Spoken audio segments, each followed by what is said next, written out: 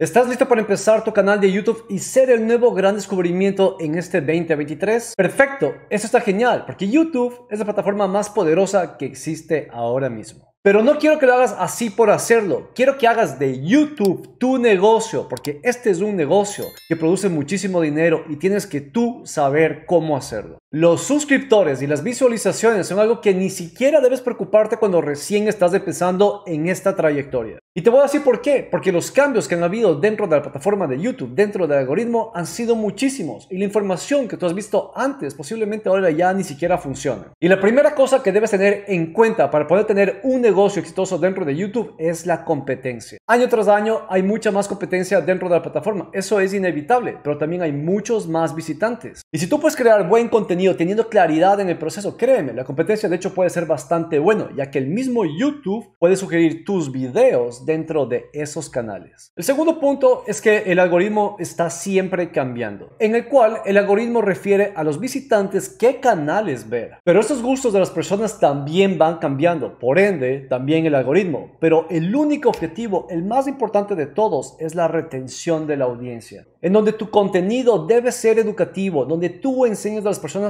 algo en particular. Y cuando haces esto, las personas van a permanecer mucho más tiempo dentro de tu canal, dentro de tus videos. O de pronto termina un video tuyo y quiere ver otro más que vaya en secuencia. Eso es súper importante. Tercero, los creadores de contenidos han identificado la importancia de tener algún tipo de engagement, de interacción con los visitantes dentro de su canal. Los likes y comentarios son identificadores positivos para el algoritmo para saber que estás haciendo bien las cosas. Todo esto de aquí ya lo sabíamos, pero en el cuarto punto es el lanzamiento de YouTube. YouTube Shorts en donde el objetivo de YouTube es abarcar mucho más de mercado, sacar de la competencia al resto de las plataformas. Y así, ahora en este momento es una gran oportunidad para poder crecer tu canal desde cero. O si ya tenías audiencia, ¿por qué no sacar esos videos de formatos largos, hacerlos de formato vertical y tomar ventaja de que el algoritmo en este momento está compartiendo de manera masiva? Esta es la oportunidad que muchos estaban esperando. Y todos estos puntos es súper importante tener claro cómo funcionan. Por más de que tú seas el tipo de creador de contenido que no esté interesado en generar ingresos y solo quieras pasar un buen rato, el éxito de YouTube se basa en crear un negocio que sea sustentable en el futuro. Y tienes que pensar de manera grande, planificar, organizar, hacer estrategia, promocionar, analizar mercado. Y te voy a explicar todos los puntos importantes si es que yo empezaría YouTube ahora mismo desde cero.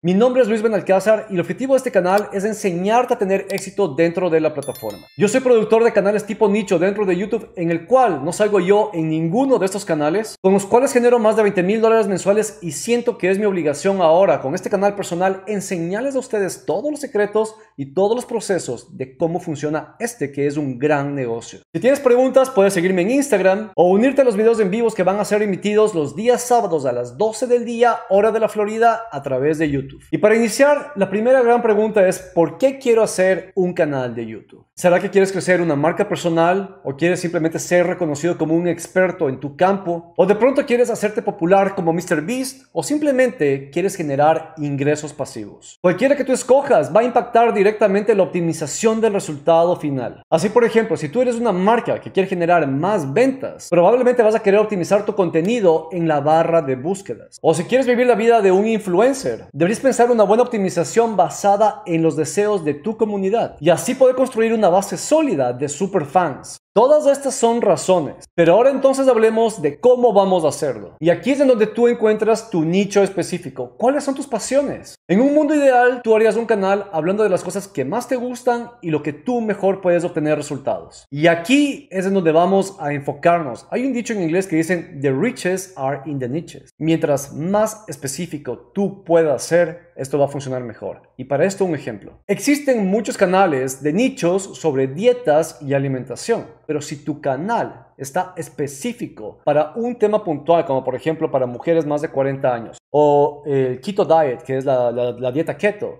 eso va a ser mucho más específico y la audiencia va a ser mucho más fiel. Y el efecto que va a crear esto es que tú eres esa persona, tú eres el experto de ese punto en específico y te va a marcar la diferencia sobre el resto. Y esto es muy valioso. Esto te va a ayudar a crecer tu credibilidad. Esta es la forma de hacer negocio. Y así ahora es momento de crear tu logo tu nombre y empezar a sacar tu marca dentro de tu canal. Recuerda, este es tu espacio, tu ventana frente al mundo. Saca colores claros, pon títulos súper poderosos, haz miniaturas que realmente hagan impacto. Analiza el mercado, mira qué están haciendo los canales exitosos en temas similares de lo que tú estás haciendo. Y si no tienes el nombre perfecto al inicio, no importa, pero inicia, toma acción, todo es tiempo. El activo, recuerda que el tiempo es el activo más valioso que tenemos. Ya después podrás cambiarlo. Y para esto, trata de crear banners que sean claros, específicos, que sepan de qué están hablando. Trata siempre de poner, por ejemplo, tu fotografía. Esta misma fotografía, si tienes tu otras redes sociales, te sugiero totalmente de que las pongas la misma fotografía en el resto de las redes. Así la gente te puede distinguir de forma mucho más rápida. Trata de crear siempre miniaturas que sean fáciles de leer, que tengan siempre contrastes. Y algo súper poderoso es que tú puedes crear series dentro de tu canal que vayan las personas viendo en orden el proceso de cómo funciona. Esta página principal es súper importante que sea clara para que las personas no se confundan y sepan exactamente a lo que se están suscribiendo. Aprende a utilizar las herramientas que vas a necesitar dentro de YouTube. Esto puede ser como VidIQ, el cual me hace la vida bastante sencillo ya que simplemente me ayuda a optimizar con similar metadata todo el contenido dentro de mi plataforma. Puedo saber exactamente qué está haciendo mi competencia. Aprende a utilizar Canva. Es súper importante que tú tengas imágenes, miniaturas que llamen la atención porque de nada te sirve tener el mejor video del mundo si no tienes una imagen que realmente causa impacto. Puedes revisar también aquí abajo Canva, el cual es súper poderoso. Puedes tú aprender a hacer todo logos, imágenes, miniaturas. Y Canva realmente te hace la vida bastante sencilla. Si quieres aprender a editar videos, OpenShot es una plataforma gratis que hace un muy buen trabajo. Pero si quieres hacer algo un poco más profesional, mi recomendación sería ya Premiere Pro. Para lo que es grabación de voz, en el caso de mis canales tipo nicho, yo utilizo Audacity. Este es un software de grabación de voz, el cual hace la vida bastante sencilla. Al inicio yo hacía los guiones y las grabaciones de voz dentro de mis canales. Y por último, si tú tienes un presupuesto y quieres hacer de YouTube un negocio, así como lo hago yo ahora mismo, sin que tú salgas de en cámara, te sugiero subcontratar un equipo de personas que te ayuden con todo el trabajo de la producción. Para eso, tú puedes ir a fiverr.com o también puedes encontrarlos en grupos de Facebook que funciona bastante bien. Existen tutoriales dentro de YouTube de cómo utilizar cada uno de estos softwares son realmente son fáciles. Y una vez que tú lo domines, vas a ver que todo va a ser relativamente sencillo. En donde si tus objetivos es realmente crecer tu marca personal, tu negocio o generar ingresos a través de YouTube y llegar al próximo nivel, tienes que realmente entender cómo funciona cada parte del proceso. Esto es un negocio y por ende tú tienes que entender todos los puntos de funcionamiento. Debes tomarte el tiempo de aprender a utilizar todas estas herramientas, porque por más de que tú quieras subcontratar a alguien,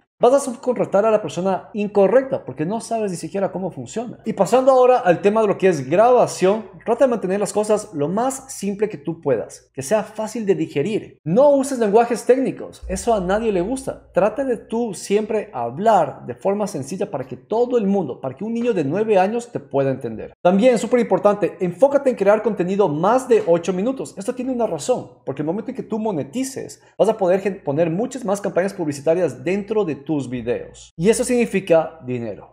Y para poder hacer que todo esto funcione, tienes que aprender a hacer la investigación del mercado pertinente antes de la grabación. Mira contenidos, mira temas, sigue canales específicos, revisa blogs dentro de Google. Si estás buscando por ideas, analiza los comentarios de las personas de canales similares. ¿Qué están poniendo la audiencia? ¿Qué es lo que ellos quieren ver? Y nuevamente, el título y la miniatura son pieza fundamental. De eso depende que las personas realmente te vean o no. Y siempre empieza tu video con un gancho, con un hook súper poderoso en los primeros 5 segundos. Si hasta aquí has encontrado información de valor, no olvides darle ese like, suscribirte, déjame tus comentarios. ¿Qué más quieres saber? Y si te preguntas si debes o no promover tus videos, aquí la respuesta sería que hay que saber cómo hacerlo. Por ejemplo, si estás en un grupo de Facebook sobre comida, trata de generar información de valor, de responder preguntas y como sugerencia puedes tú lanzar un video. No lo lances por lanzar a todo el mundo, eso a nadie le gusta. Y así cuando ya comiences a hacerlo y todo comience a ir bien, vas a crecer una comunidad. Asegúrate de interactuar, asegúrate de responder todos los comentarios. Escucha a tu audiencia, pregúntales qué más quieren aprender. Puedes hacer videos en vivo respondiendo preguntas y respuestas de tu comunidad, eso es súper valioso. Y recuerda que YouTube tiene solamente dos elementos para el éxito. Una,